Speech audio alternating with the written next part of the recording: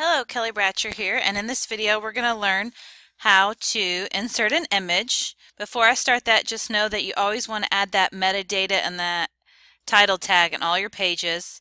You're going to want to change out the information to apply, however, so after content equals, make sure that all this information has been changed to apply to this specific page and to you.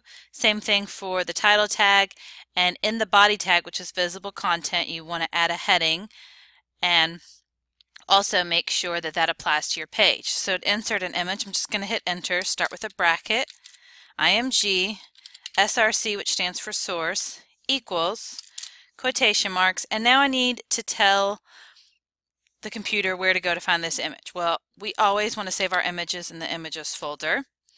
And then we need to give it the name of the file. So what I'm going to do is go down here in my files task pane I'm in the review folder because I'm right here. And I'm going to go look in my images folder, which is also right here beside me. And I'm going to see what images I have. And I've got an image called cloud, or let's start with this one, flower.jpg. So we're going to head back over here, and I've got mine set up where it will turn yellow if I've got an error. So currently this is an error because I'm not finished. Flower.jpg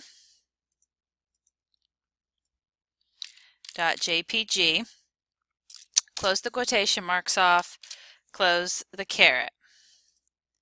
And my picture showed up. If your picture doesn't show up, you need to do some troubleshooting.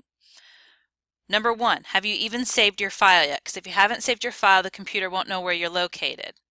Number two, did you actually save an image called flower.jpg in the folder that you said? So you're going to want to go back over to your task pane and ask yourself, I'm right here, and I said to go to the closest images folder, which is here. Does one of those exist? And a lot of times you guys only made one folder, so it's outside of that folder, so that's the problem.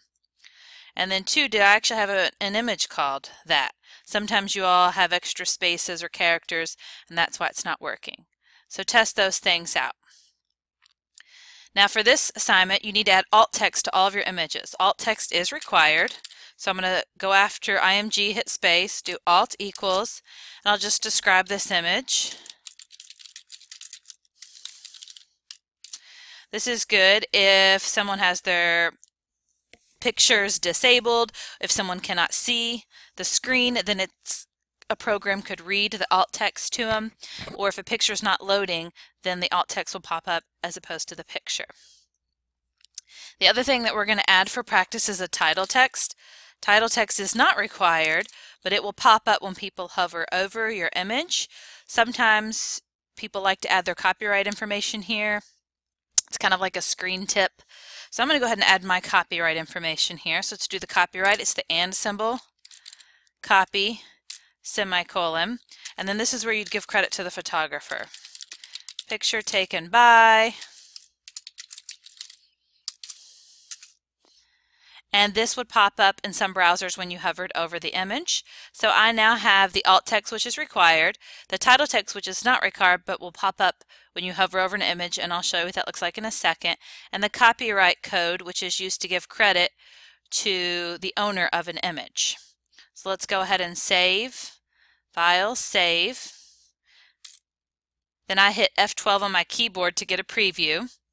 And when I hover over this image, you'll now see the copyright symbol, with picture taken by B. Smith. And if you want to save time, like most people do, you can always copy your code and paste it in four more times. And then you can change out the name of the image to get your other images to show up.